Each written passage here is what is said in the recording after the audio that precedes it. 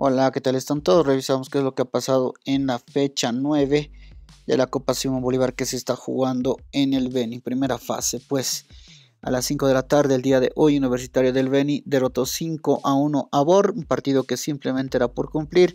Germán Buch perdió 0 a 1 ante Alianza Alianza Beni. Con este resultado, Alianza Beni clasifica y en el otro resultado, San Lorenzo empató 1 a 1 con 3 de febrero, resultado que también favoreció a 3 de febrero.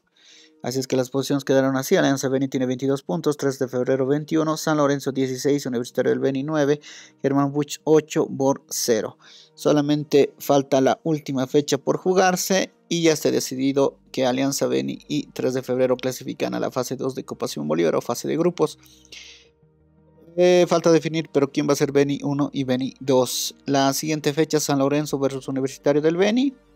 Partido simplemente por cumplir. Germán Buch contra Bor, también por cumplir. Y justo se enfrenta a la Alianza Beni versus 3 de febrero.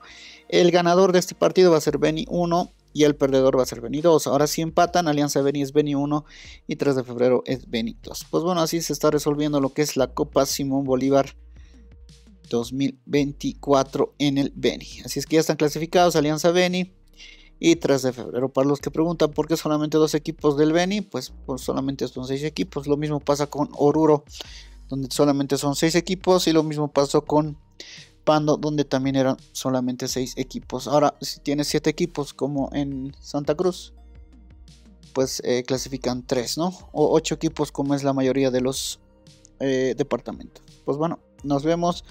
Yo supongo que el día viernes o el día sábado va a ser ya la terminación de esta primera fase en el Beni. Lo han hecho simple en el Beni, eso es lo interesante.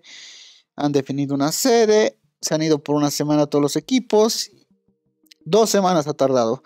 Santa Cruz todavía va a tardar, creo, dos o tres semanas en terminar el suyo.